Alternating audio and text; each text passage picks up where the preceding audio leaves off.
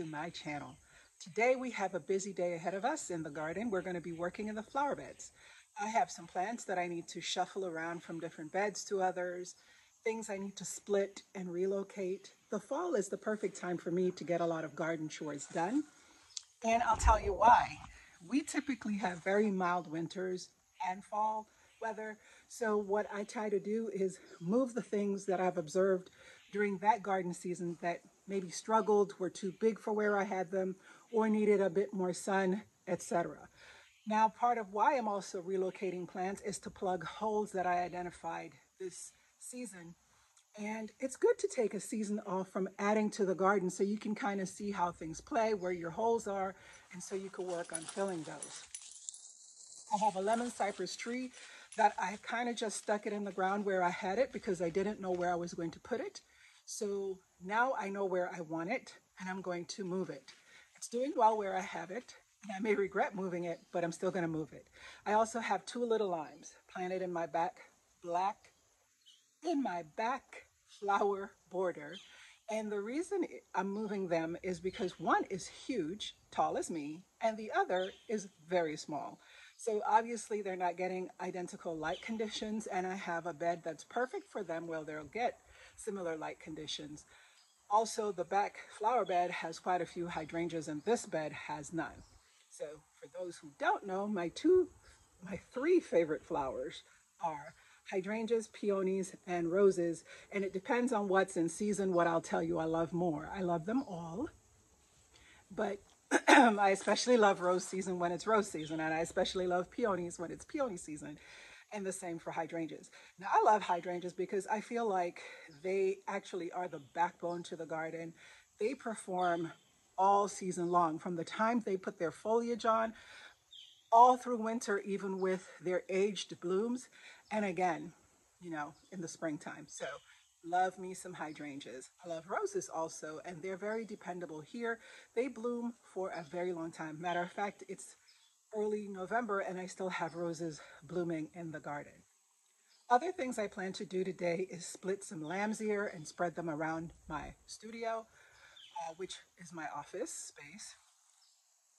And I also have some sedum that I want to split and shift around the different flower beds, etc.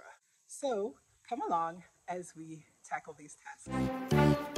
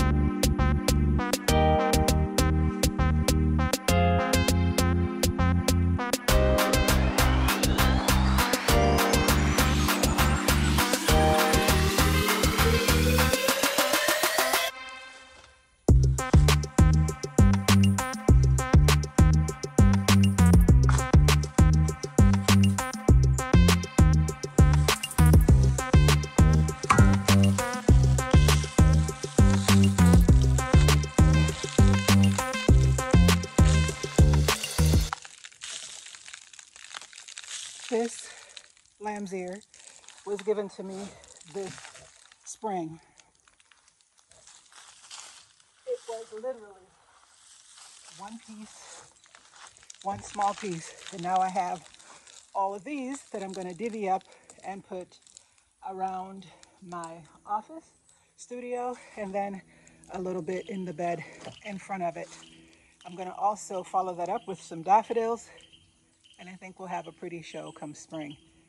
But the nice thing about plants like lamb's ear, I mean, in my hand I have probably 10 plants, but I'm literally gonna make it maybe three, four, and do the same with the pieces on the ground. So from two plants, I probably have 25 this season alone.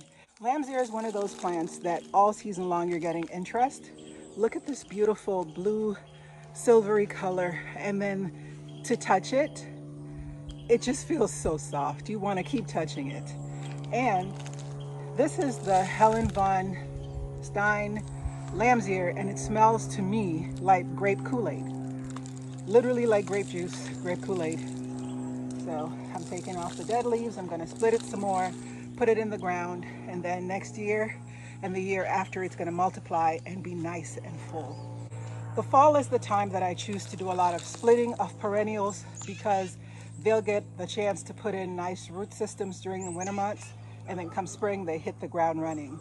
Because we sometimes have such hot summers and springs, it makes sense for me to do what I'm doing in the fall and winter. Now you have to know your zone and your climate. I garden in Georgia in zone 7B. We have had years where we barely had any spring. We went right to summer. Our daffodils tend to bloom around February, daffodils and tulips. By March, my irises are starting to put up fronds and they, the bloom stalks and they bloom come April. My roses are blooming May you know, so everything is earlier in our garden than yours. And so as a result of that, I got to plan accordingly. So getting all this stuff done now saves me the work on the back end later. I have dug all the lamb's ear, split them, and replanted them in the various spots around the studio, as well as in the flower bed directly across from the studio. Now I'm in the back behind the house by the long flower border back here in order to move some things around. This is a little lime hydrangea right here, and there's another one at the end of this bed that I'm going to dig and put in my driveway flower bed. I'm also going to dig up a um, I'm also going to dig up a hibiscus that's back here that's not getting enough sun. As you can see, there are trees everywhere. Eventually, the trees that are shading this hibiscus will be cut down because they are hanging over the house, but the cost to remove them right now is prohibitive. So when they are done, I will add more sun-loving plants to the far end of this flower bed because right now it's getting a lot of shade. So moving the two little limes, digging up the hibiscus, and I also may move a little lime, not a linen lime, excuse me, a firelight, quick fire, and move it further in the bed because it's a bit far and you don't always see it as readily. We'll see. Um, still have lots to do on my list, but I like checking things off. Got the lemon cypress moved, the lamb's ear moved, digging up the little limes.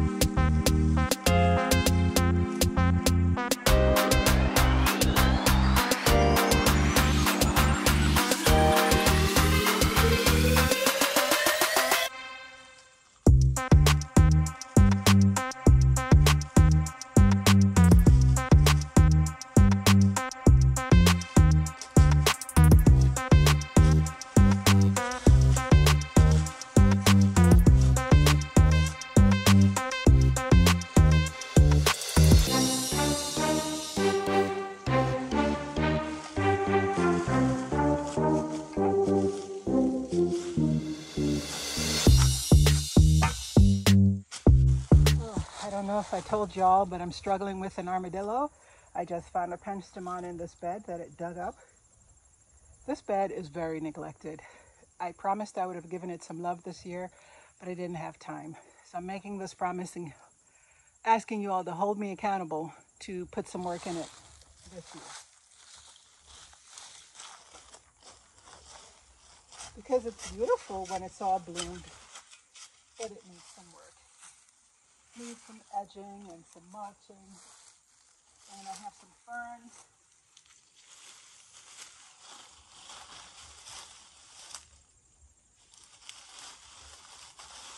I have some ferns that are trying to take over. So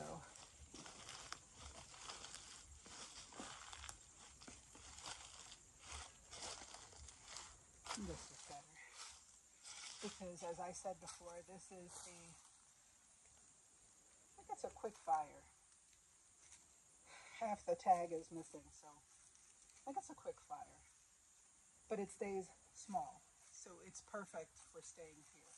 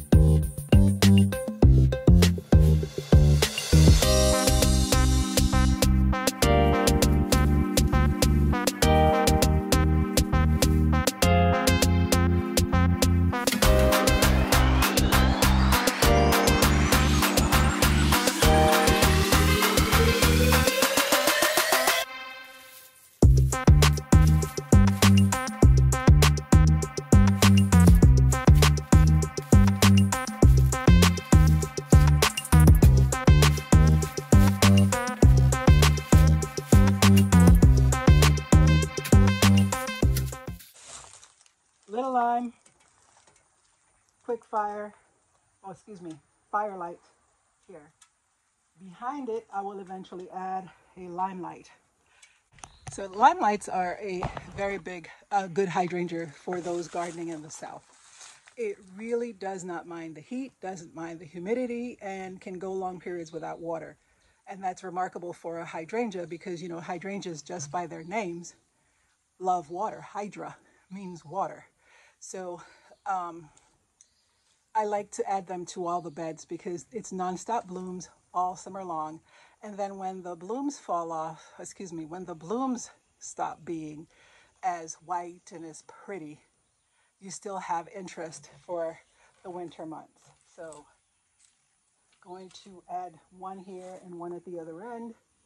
And I am really just loving this. I know it doesn't look like much at the moment, but come spring, it'll be really pretty. And then in the springtime, this bed is one of the oldest beds in the yard. This bed has a lot of daffodils that need to be split. I noticed that earlier this year, but when we first came home from the hospital with my husband, he required a lot more care than he does now for me personally. I was on duty 24 hours a day and wasn't really much gardening going on during February, March, and April when would have been a good time to split those. So I'm hoping to get that done this coming spring. Daffodils go through a period where it's called being blind. It simply means they don't bloom as aggressive or as abundant as they did previously. And when they go through that period, you know it's time for you to split them. So it's time for me to split a lot of these daffodils. I have several varieties in this bed and I really want to have the bed perennialized so that in the spring it's nothing but a carpet of daffodils and then irises and so that it's just blooms upon blooms upon blooms. That's how I like it. All right, let's continue.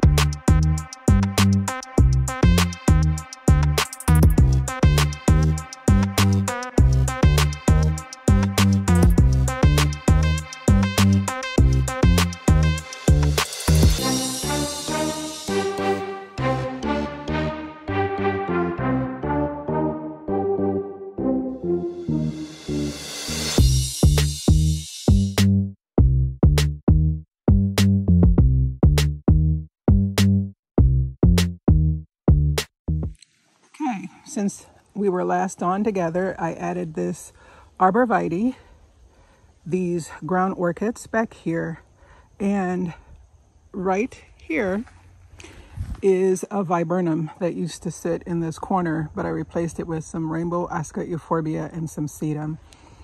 Um, as you can see, the lamb's ear, that's one right here, and all along this flower bed all along the front. You can see here.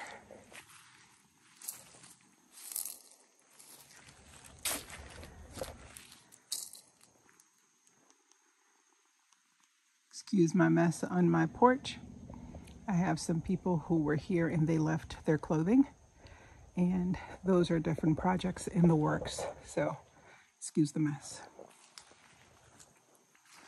you can see all the lamb's ear and all the sides. Now there's the lemon cypress loving its life since it's been transplanted. And This bed over here, I got some of the lamb's ear as well. And you can see that it has split and not split, multiplied. I have since also added daffodils in here. And these are the type that will perennialize. So I will have them in this bed forever. Roses and butterfly bushes and stuff has not been pruned back yet, but it's doing good.